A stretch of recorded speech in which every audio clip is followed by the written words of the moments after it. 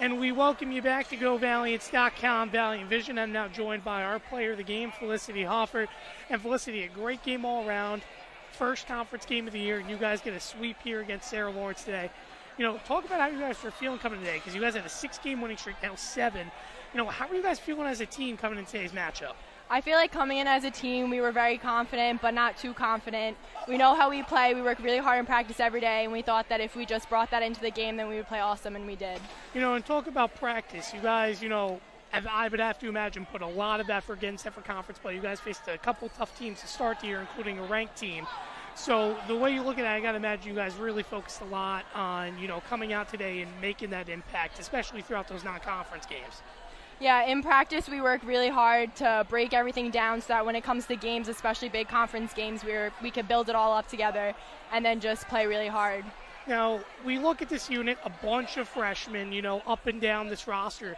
But what's most impressive compared to last year when I looked at it was every freshman here not only plays, but they're also producing. And I think to me that's the most impressive part. So kind of talk about the freshmen a little bit to me. You know, what, is it with your guys' core? You know, is it communication? Is it just how you guys, you know, get along in general that really have made this freshman core very good to start out this year? I personally think that the reason why we work so well together is because off the court we're all best friends. We all hang out literally every day. It's just we're all very close and it shows on the court when we do really well together. And I mean, again, you're talking about doing well. I mentioned the seven-game winning streak for you guys. Now, you guys also face Yeshiva uh, in two days, Saturday morning, I believe at 11 a.m. right here. They're still looking for their first win, and obviously you don't want to underlook an opponent.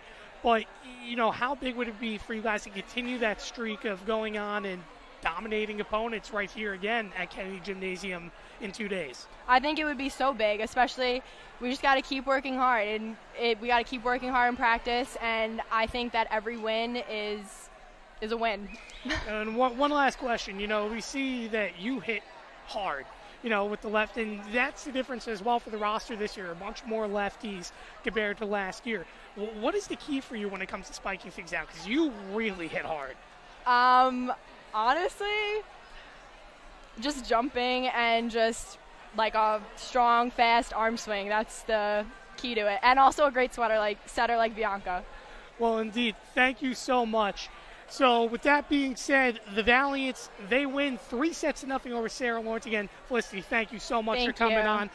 We'll see you tomorrow for men's soccer coverage. But in other terms, we'll see more volleyball action right here at 11 a.m. on Saturday. With that being said, I've been Tim Moore saying so long, and we'll see you tomorrow night for more GoValiants.com Valiant Vision action. Have a good night, everyone.